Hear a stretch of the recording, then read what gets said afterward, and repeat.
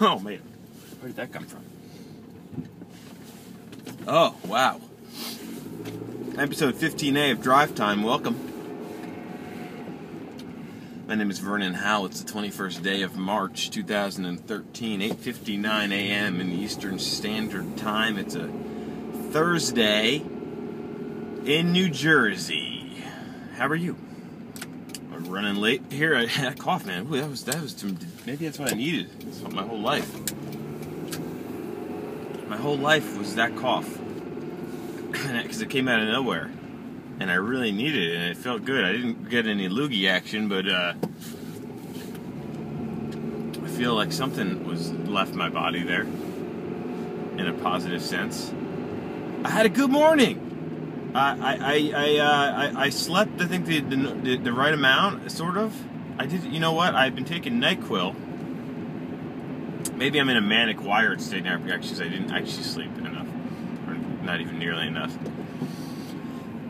Excuse me. The cold's still lingering, just a little bit, just very tiny. It's this is a slow burn. This cold I have. I was taking Nyquil for uh, this cold, and just because I like the taste of Nyquil and I kind of like the idea of of a drug putting you out for a little while, and uh, I, I killed it the uh, night before last, so I, I, didn't have any Nyquil tonight, and so I woke up at like five, and I was like, not in a panic or anything, just like why am I awake? I had been sleeping straight through, and normally that's not unusual for me, you know, I'm not a, but I guess that that was the effect of the Nyquil, but I, I had felt somewhat tired during the day. I felt more alert when I when I went. I did went back to sleep, and I woke up again at like six forty-five, and I was like, "Well, shit." I I set my alarm for seven twenty because I went to sleep at about one twenty, and I always try to I always try to set my alarm to accurately re- reflect me getting uh, about six hours because that's the two REM cycles. I don't know if that makes any sense, but that's just how I do it.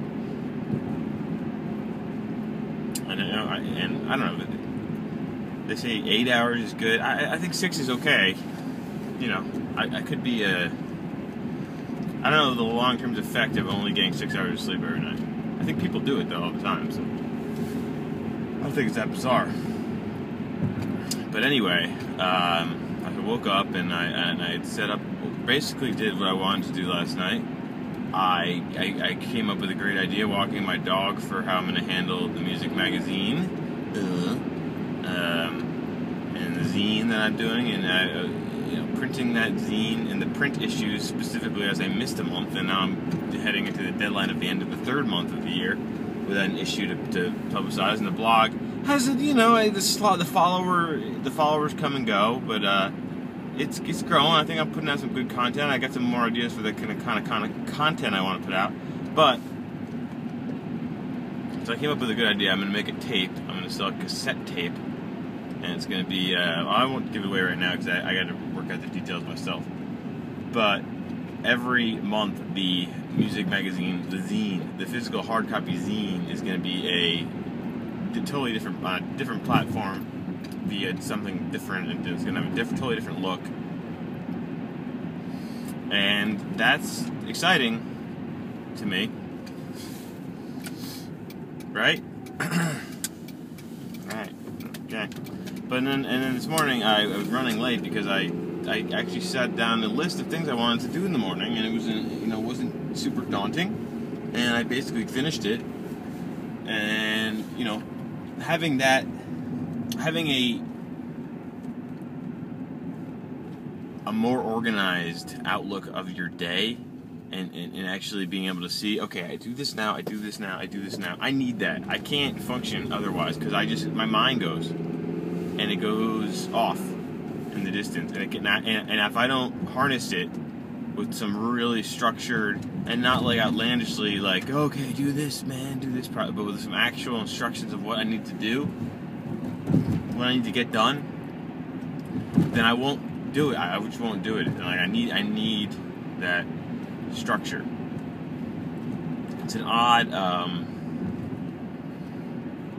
you would think for create for, for creativity that that structure it would be bad, but it, to me, I, I, I'm be, I, I make better work. I work more often, and it's it's really important to to have it regimented down to like the science and time it out to like you know think about what I'm doing from 7 p.m. to 8 p.m. tonight.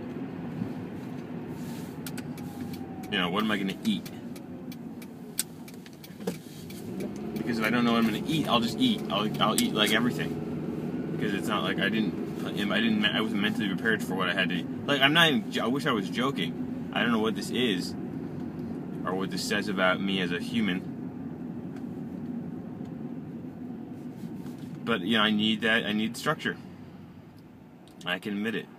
And you know, in a way, it's like you're bowing down to some uh, some kind of uh, fictional the man in your own head by saying like I need to have this regimen. I need to be told what to do.